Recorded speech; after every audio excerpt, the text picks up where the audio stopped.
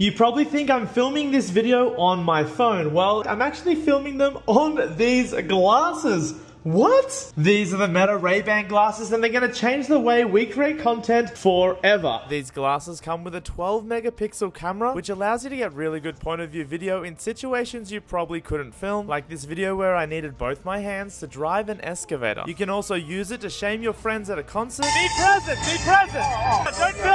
So you can still get the epic shot. And just to prove this is not a paid ad from Meta, this is my favorite shot I have filmed so far.